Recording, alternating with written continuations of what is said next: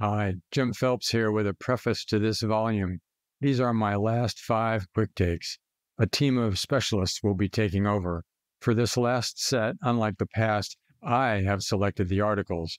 So, whereas healthy skepticism is always a good thing, perhaps a bit more of it is warranted for these articles, as I'm using them to present my personal point of view before I leave. Thanks for listening. And now for the 52.1 in 2022, the Royal Australian and New Zealand College of Psychiatrists published the most recent clinical guidelines for the treatment of mood disorders. The introduction to these guidelines describes a mood spectrum, depressions ranging from purely unipolar to fully bipolar, with people all the way along in between. In other words, in these guidelines, the authors have switched from the categorical diagnostic system of the DSM to a dimensional approach. If you have any doubt about this, see their figure three entitled The Mood Spectrum. This shift from categorical to dimensional represents the evolution of a concept I first encountered back in the 1990s, a concept made formal in 2002 in an invited review for the Canadian Journal of Psychiatry. Highly respected authors Nassir Ghaemi and Fred Goodwin presented the research literature supporting a spectrum approach to mood disorders. I contrast these two papers from 2002 and 2022 to highlight two things. First, change can be slow. This reconception of mood disorders from categorical yes no, bipolar or unipolar to a dimensional view has taken nearly my entire practicing lifetime. Secondly, while the new guidelines ought to end any further debate about how to diagnose bipolar disorders, they won't, because many psychiatric specialists rightly worry that including more patients under a bipolar umbrella could do harm. So let's look closely at that.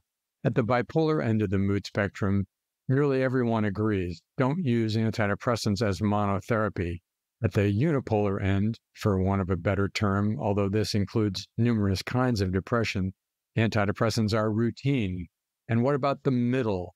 How bipolar should a patient be for you to switch strategies from antidepressants to a mood stabilizer with antidepressant effects, such as lamotrigine or low dose lithium?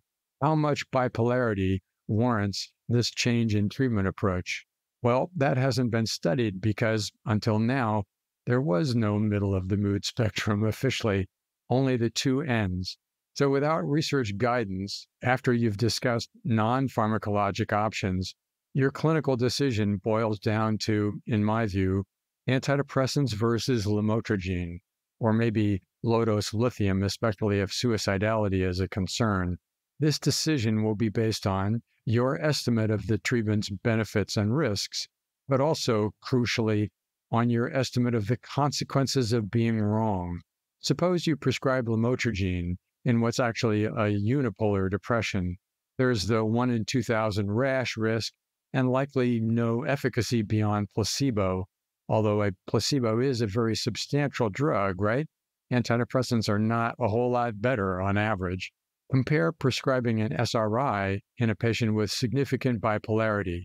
The probability of benefit is significant here, but there are the risks of SRIs that anyone faces, weight gain, sexual dysfunction, and a potential for severe withdrawal when discontinuing, plus, in this case, the risk of inducing rapid cycling, mixed states, and treatment resistance.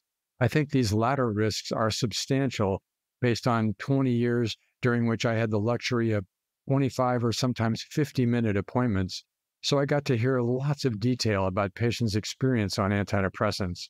As a result, my risk benefit analysis leads me to consider lamotrigine much farther down the mood spectrum than many of my colleagues.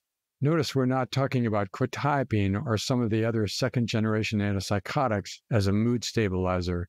That would be concerning in terms of the risk benefit ratio because I fear we're grossly underestimating the impact of inducing metabolic syndrome. So, if the choice between an antidepressant and lamotrigine depends on how bipolar is this patient, how are you supposed to determine that? Ghaemi and Goodwin's paper from 20 years ago detailed the answer. In the middle of the mood spectrum, mania is by definition absent, and hypomania will be subtle or even less evident. So instead, you assess non manic markers that are statistically associated with bipolar disorder, but not in the DSM family history, age of onset of the first depression, that is, course of illness, how cyclic, how recurrent is it, and response to treatment, particularly highly energized adverse reactions to antidepressants.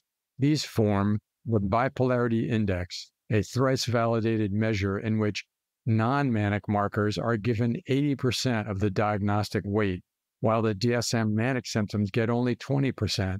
That's how important these other four domains are family history, age of onset, course of illness, and response to treatment. I think they're so important. I'm going to say that again. Family history of bipolar disorder, which granted is always a little tricky. Age of onset, namely early 18 to 24. Course of illness, namely highly recurrent, episodic, and response to treatment, adverse reactions to antidepressants in particular.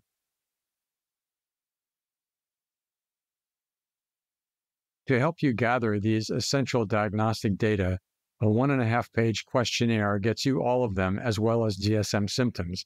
It's called Mood Check. You can download it from the references because you simply can't answer the key question How bipolar is this patient? without those. Ghaemi and Goodwin made that case 20 years ago, and the new guidelines make it, well, almost official now.